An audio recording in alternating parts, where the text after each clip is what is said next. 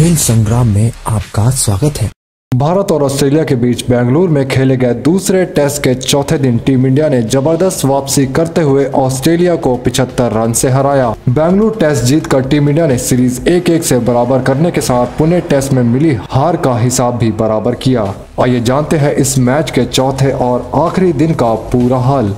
चौथे दिन चार विकेट पर 213 रन के स्कोर को टीम इंडिया ज़्यादा आगे नहीं ले जा सकी। और लंच से ठीक पहले ऑल आउट हुई। चितेश्वर, पुजारा और अजिंक्य रहाणे ने पाँचवें विकेट के लिए 118 रन जोड़े, जो इस मैच का टर्निंग पॉइंट साबित हुआ। हालाँकि बावन रन की पारी खेलने के बाद अजिंक्य रहाणे को मिशेल स्टार्क ने एलबीडब्ल्यू किया और अगली ही गेंद पर करुण नायर बिना कोई रन बनाए स्टार्क की गेंद पर बोल्ड हो गए। वही बानवे रन बनाकर खेल रहे चितेश्वर, पुजारा, हेजलवुड की गेंद पर मिशेल मार्श को कैच दे बैठे। इसके बाद अश्विन चार और उमेश यादव एक रन बना हेजलवुड का शिकार बने। वही ईशांत शर्मा छह रन पर स्टीव ओकिफ का शिकार बने, जबकि रिधिमान साहब 20 रन बना नॉट आउट रहे। इस तरह टीम इंडिया ने दूसरी पारी में 10 विकेट पर दो सौ चौहत्तर रन बनाए और ऑस्ट्रेलिया के सामने एक सौ अठासी रनों का लक्ष्य रखा। ऑस्ट्रेलिया के लिए हेजलवुड ने सबसे ज़्यादा छह विकेट झटके, वही मिशेल स्टार्क और स्टीव ओकिफ ने दो दो विकेट चटकाए लक्ष्य का पीछा करने उतरी ऑस्ट्रेलिया टीम की शुरुआत खराब रही। मैट रन शॉट सिर्फ़ पाँच रन बना। ईशांत की गेंद पर विकेट कीपर रिधिमान साहा को कैच देकर चलते बने।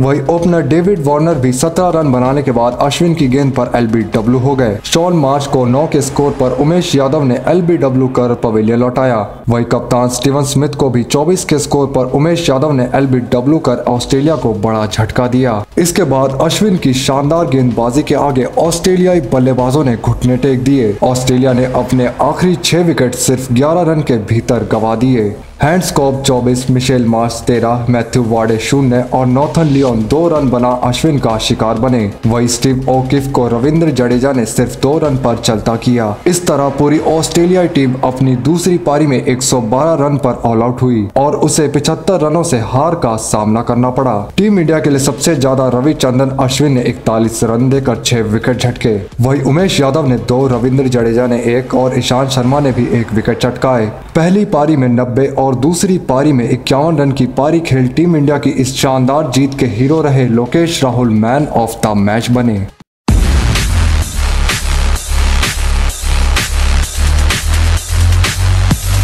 आगे की खबरों के लिए देखते रहिए खेल संग्राम।